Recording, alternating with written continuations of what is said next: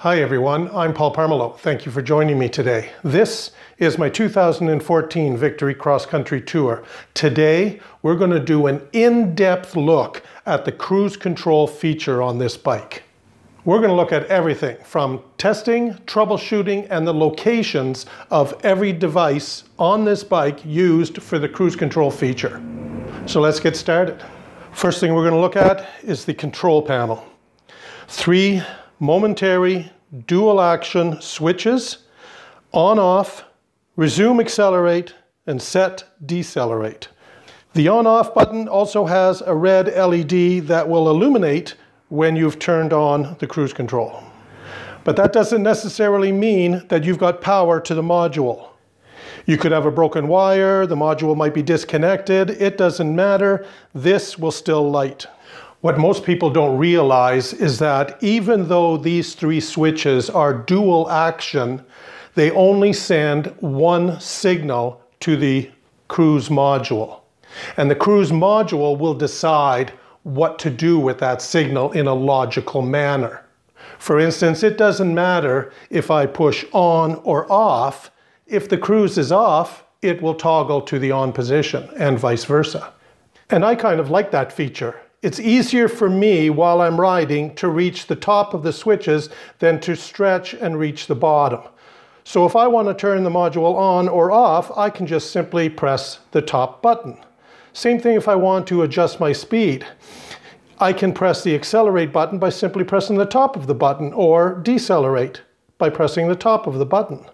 There's a built-in diagnostic routine for the cruise control. What we're going to do is we're going to test the control panel buttons. We are going to be watching the dash for the cruise indicator to light up.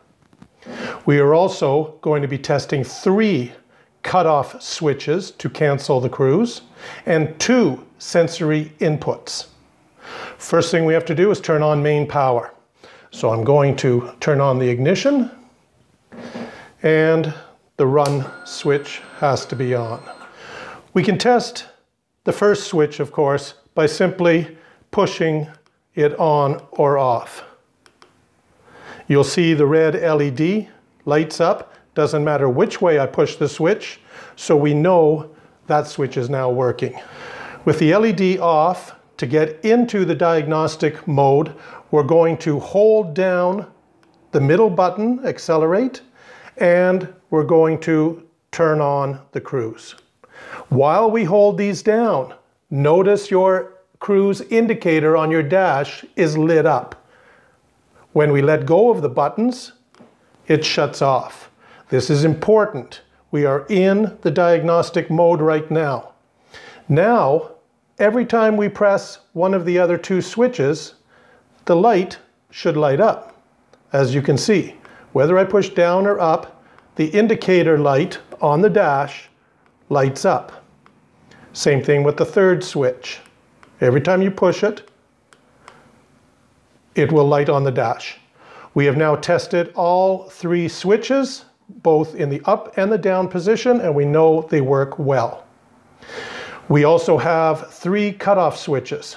First one is the front brakes. When I push in the brake lever, it turns on the indicator light. Let go, shuts off. We can test this.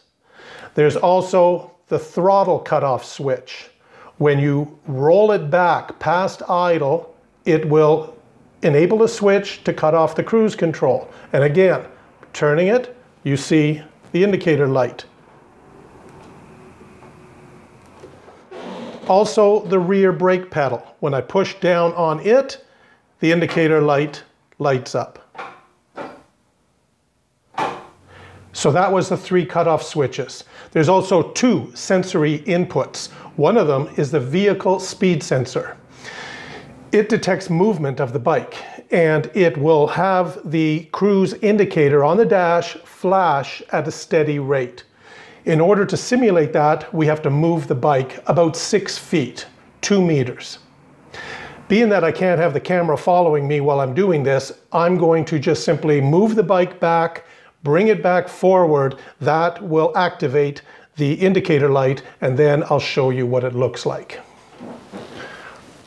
Okay, I rolled the bike back six feet and then brought it back to where the camera is. Even though we're stopped, you can see the indicator light is blinking at a fixed rate.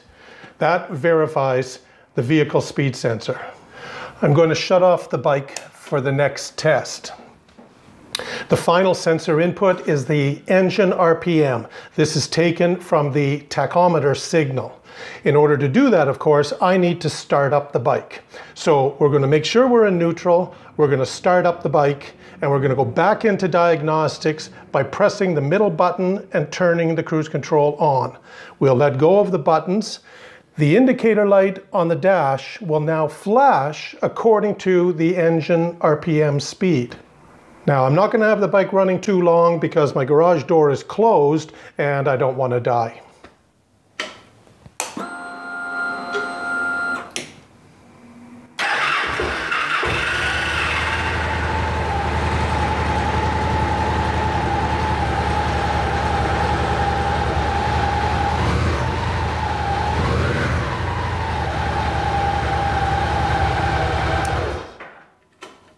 If you remember, going into the diagnostic mode, we had to enable it.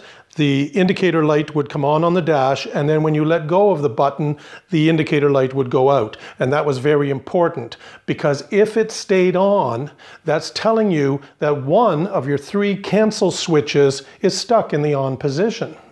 And the only way to figure out which one it is, is to disconnect them one by one.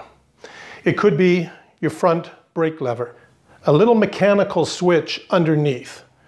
Very easy to get to, and all you have to do is just unplug one of the wires, and that would remove that switch from the circuit. Or it could be your rear brake switch. Now that one is a pressure switch located on the brake line in front of the engine, down underneath where the regulator rectifier is. And again, just pull off the connector and that will remove that switch from the circuit. But chances are you would know if it was one of those switches canceling your cruise control because your brake lights would also be on.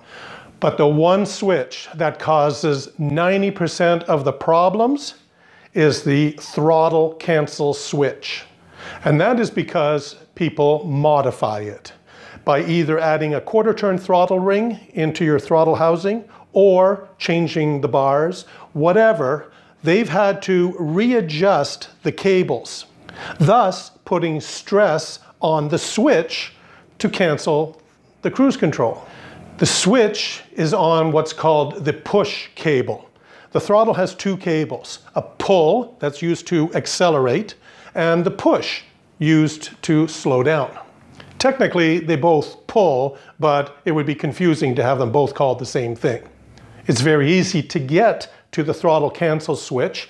You turn your wheel far left and the switch is located at the front of the gas tank between it and the frame. Two single wire connectors and it's very easy to just pull one out and disconnect that from the system.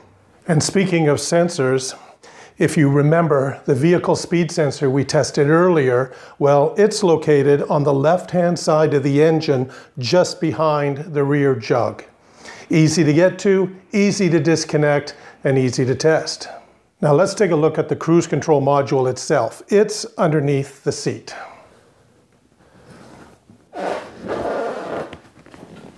Victory in all its wisdom stuck it way down inside that hole. And this right here is the 10 wire connector used to power the module. Female end is the wiring harness and this part goes down to the module. And if you need to know if there's power here, this corner pin, pin A, this is the white with blue stripe, that's your power, that's your 12 volts. And remember, the red LED on the control panel will be lit even though you may not have power here. So before the dealer wants to charge you big bucks for a new module, check your pins. The cruise control module shares its power with the 10 amp fuse for the turn signal and the horn on the right hand side of the bike in the fuse box.